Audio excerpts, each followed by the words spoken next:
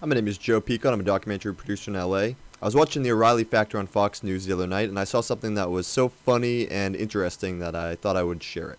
Now, if you follow politics or the news media at all, you might remember that a few years back there was a controversy where Fox News was accused of giving their hosts and commentators Republican talking points to follow.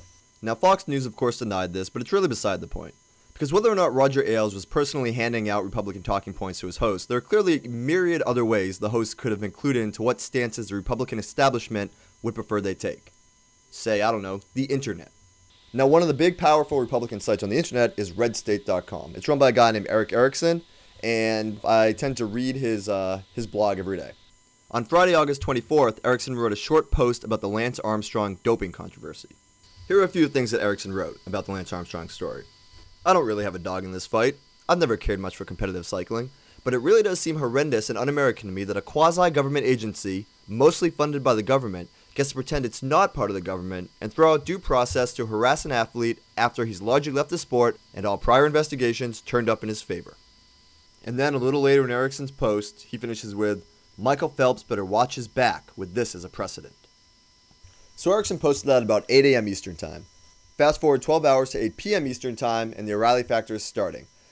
O'Reilly wasn't on this night, instead it was frequent guest Monica Crowley filling in as host. The Factor decided to cover the Lance Armstrong doping story, and here's what Monica had to say. See if anything sounds familiar. Great to see you, Geraldo. You too. Delighted right, so to be on the show with you. We, yeah, likewise. So we might disagree about this because I am, I'm pretty appalled. Now I don't know whether Lance Armstrong doped or not. I have no idea. But you have this sort of quasi-government agency that pretends it's not a government agency, but is still funded by by the government for the most part, which means you and me, taxpayers.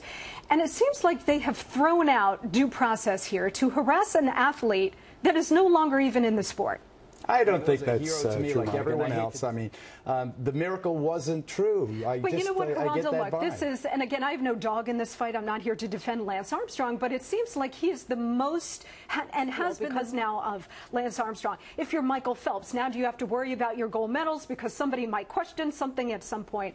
I think it's a real tragedy. Yeah, Monica, I can tell you really care deeply about this tragedy as you read back near verbatim the text of a conservative blog and then pass it off as your own original thought. You'll see this kind of thing all the time on Fox News, but it's not usually this overt, so I thought I'd share this uh, particularly egregious example. Thanks for watching.